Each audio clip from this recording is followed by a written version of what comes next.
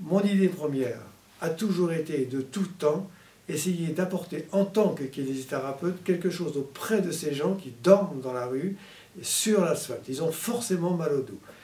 À partir de là, quand j'ai pu dégager du temps, je me suis rapproché, grâce à des connaissances, du SAMU social de Paris et je leur ai proposé de faire quelque chose pour ces gens-là. Donc j'ai communiqué auprès du staff musical, j'ai communiqué auprès du staff euh, du SAMU social de Paris et j'ai aussi communiqué avec une autre association kinésithérapeute du monde, KDM, parce qu'ils font des missions à l'étranger, mais je leur ai dit, mais pourquoi aller à l'étranger? Il y a de quoi faire sur notre territoire.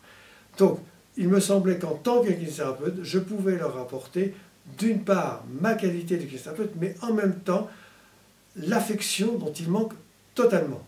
À partir de là, ben, j'ai créé une équipe au sein du SAMU social de Paris et nous sommes en ce moment cinq kinésithérapeutes à travailler, mais bien sûr l'équipe est à compléter parce que nous ne sommes pas suffisamment nombreux.